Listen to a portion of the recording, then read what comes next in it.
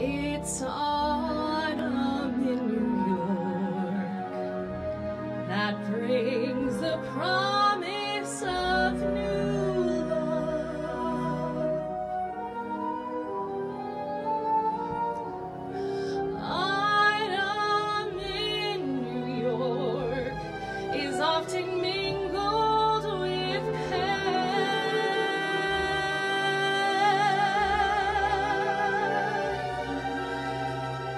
dreamers without